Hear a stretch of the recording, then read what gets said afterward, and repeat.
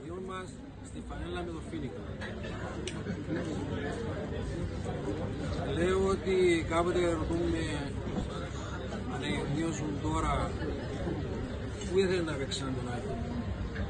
Πάντα λέω δεν υπάρχει άλλη ομάδα για μένα.